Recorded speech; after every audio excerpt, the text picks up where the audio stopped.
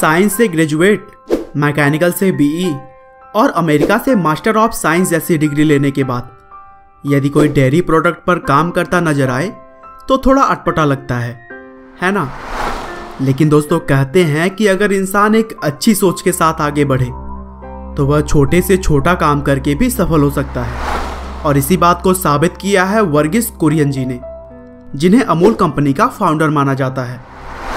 दोस्तों, दरअसल अमूल कंपनी की शुरुआत गुजरात के छोटे छोटे गाँव के गरीब दूध उत्पादकों को उनका हक दिलवाने के लिए किया गया था।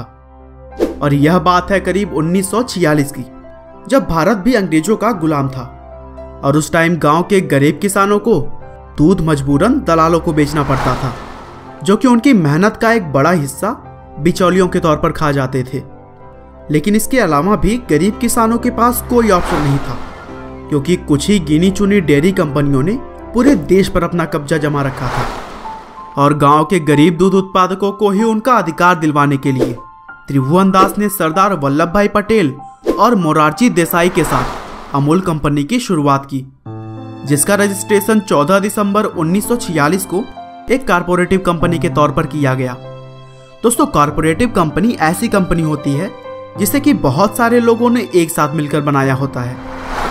आगे चलकर त्रिभुवन दास के कहने पर उन्नीस में वर्गीस कुरियन ने इस कंपनी को ज्वाइन कर लिया, जिन्होंने 1948 में अमेरिका के मिशिगन स्टेट यूनिवर्सिटी से मास्टर ऑफ़ साइंस की डिग्री ली थी। देखिए दोस्तों, वर्गीस कुरियन अगर चाहते तो वे एक अच्छी खासी नौकरी करके भी ऐसो आराम की ज़िंदगी जी सकते थे, लेकिन इसके बजाय उन्होंने देश के किसानों की सहायता करना पसंद किया। और फिर कंपनी ज्वाइन करने के बाद उनके सामने सबसे बड़ी चुनौती ये आई कि पॉलसन डेयरी ने पूरे देश पर अपना कब्जा जमा रखा था। क्योंकि पॉलसन डेयरी उस टाइम की एकमात्र सबसे बड़ी डेयरी कंपनी थी, इसीलिए गरीब किसानों को बिचौलियों के माध्यम से मजबूरन उसी कंपनी को दूध बेचना पड़ता था, और वो भी बहुत कम दामों पर। लेकिन तभी गरीब किसानों को उनके हक को याद दिलाते हुए लोगों को समझाया बुझाया गया कि पॉलसन डेयरी को दूध ना बेचें। और अपने इस कॉरपोरेटिव कंपनी को ज्वाइन करें, ताकि बिचौलियों से बचा जा सके और दूध के सही दाम मिल सके। धीरे धीरे गरीब किसानों को अमूल कंपनी का यह मॉडल समझ आने लगा और इस तरह से बहुत सारे दूध उत्पादक किसान कंपनी के साथ जुड़ने शुरू हो गए। और दोस्तों, कहते हैं ना कि जहाँ एकता है, वहाँ जीत है। अमूल कंपनी के दूध धीरे धीरे पूरे देश में पहुँचने शुरू हो गए। और फिर वर्गीस कुरियन ने कम से कम लागत में किसानों को ज़्यादा से ज़्यादा फ़ायदा हो सके, ऐसा मॉडल तैयार किया। उन्होंने दूध की क्वालिटी को चेक करने के लिए और लोगों को सुविधा हो सके, इसीलिए इस प्रोसेस को कई लेवल पर बांट दिया। जिसमें सबसे पहले गाँव गाँव एक यूनियन बनाया गया और वहाँ पर प्लांट की भी स्थापना की गई। गाँव से दूध की क्वालिटी चेक करने के बाद उसे आगे जिलों पर भेज दिया जाता था और फिर वहाँ भी जाँच के बाद उसे राज्य स्तर पर भेज दिया जाता, जहाँ पर इसकी पैकिंग होती थी। और कुछ इसी प्रोसेस के ज़रिए दूध लोगों के घरों तक पहुँचते थे। जल्द ही कुरियन की मेहनत और लगन रंग लाने लगी और अमूल कंपनी एक के बाद एक बड़ी बड़ी सफलताएँ हासिल करने लगी। लेकिन इस कंपनी के सफलता में एक बड़ा योगदान मिल्क पाउडर का भी था, जिसे कि भैंस के दूध से अमूल ने पहली बार बनाया था। दरअसल वैज्ञानिकों का मानना था कि भैंस के दूध का मिल्क पाउडर नहीं बनाया जा सकता। लेकिन वर्गीस कुरियन ने सभी को गलत साबित किया और भैंस के दूध के साथ रिसर्च करते हुए एक नई खोज की।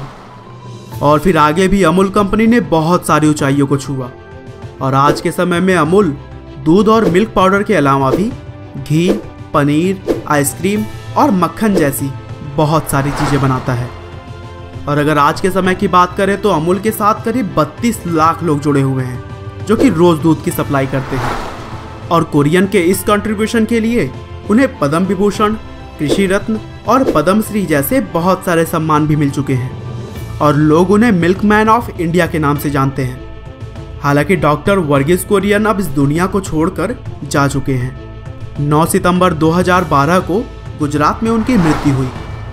लेकिन दोस्तों, ऐसे शख्स भले ही इस दुनिया में ना हो, लेकिन उनके विचार और कर्म हमेशा जीवित रहेंगे।